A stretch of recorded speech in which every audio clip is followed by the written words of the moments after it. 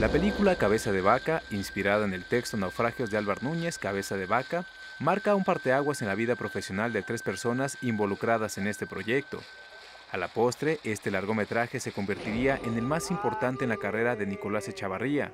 Estuvo en la selección oficial del Festival de Cine de Berlín y fue la cinta elegida para representar a México rumbo al Oscar. Berta Navarro fue la productora. Un productor le da la dimensión a una película, la, la arma.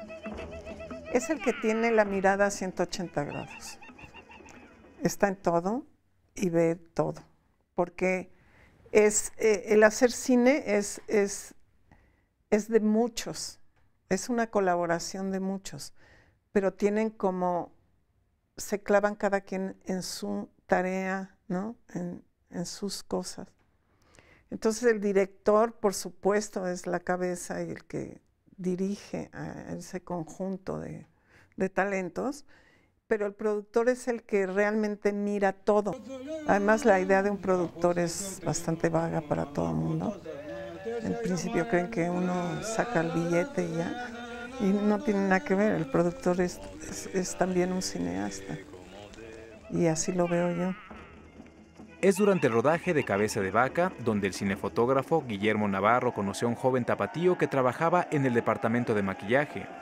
Este talentoso muchacho desde hacía años quería filmar una historia sobre un extravagante objeto que otorgaba la vida eterna.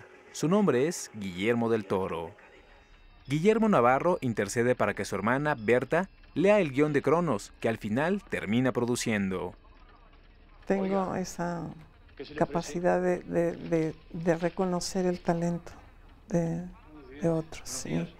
Y, y, por supuesto lo primero que me tiene que funcionar muy bien es el guion, la historia.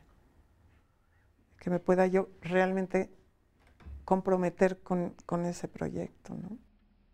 Ganó la Semana de la Crítica en Cannes y a partir de Cronos la carrera de Del Toro se fue arriba, el reconocimiento del talento de, ese chico, que era un jovencito, se dio así, que está donde está.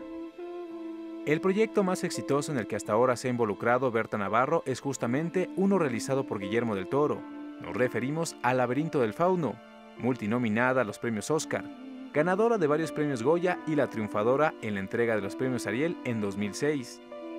Pero más allá de los laureles, el filme fue ampliamente visto en todo el mundo. Hacer cine sin conectar con el público no tiene sentido. Uno no hace cine para uno mismo, lo hace para el otro, para el que lo ve. Entonces, eh, ahora la, la batalla más fuerte es la exhibición. Berta Navarro ha trabajado en otras cintas como Cobrador de Paul Leduc, Un embrujo de Carlos Carrera, Asesino en serio de Antonio Urrutia y recientemente en La delgada línea amarilla de Celso García. Además, acaba de terminar de filmar una película en Ecuador con el realizador Sebastián Cordero, con quien ya ha trabajado en otras ocasiones. Y yo digo y repito que pues seguiré haciendo cine hasta que ya no pueda moverme. Así es que espero que dure un poco más. orgasmos múltiples. No la chingue,